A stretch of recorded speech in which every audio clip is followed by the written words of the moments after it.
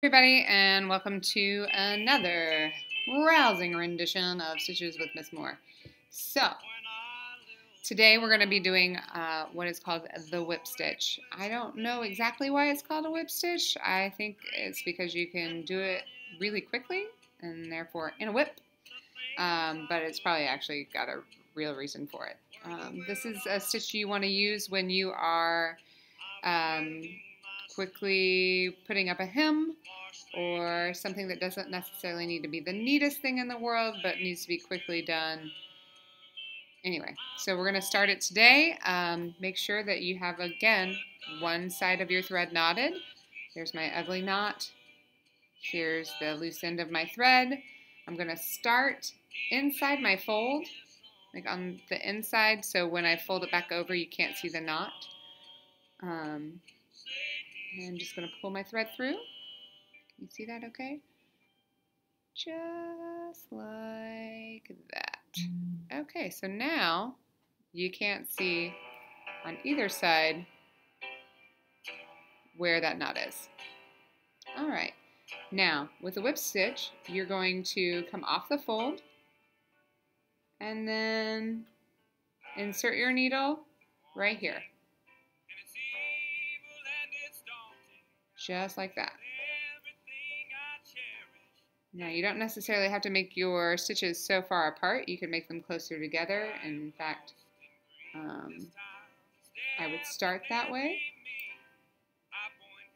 So your stitches on the back side look um, a little bit more even than what I just made mine. So there's a big one and there's a small one. Big, small, on the wrong, or the right side of the fabric.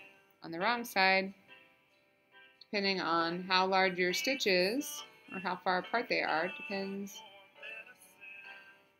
how big your stitch is on the other side. So yeah, this is the whip, whip stitch, W-H-I-P stitch. Easy, easy, easy. Try to keep your stitches as even as possible.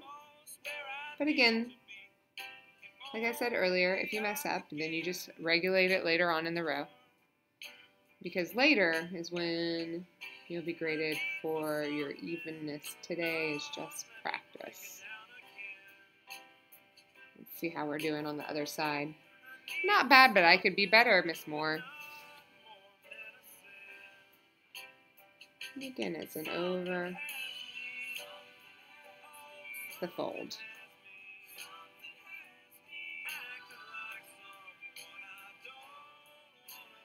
That is a whip stitch.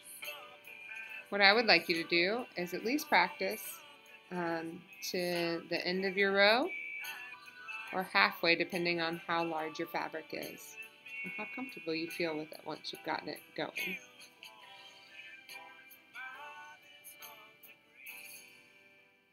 And of course, if you were actually sewing this on material, you would use a thread that is the same color as your material which you can see the thread on the right side of the fabric.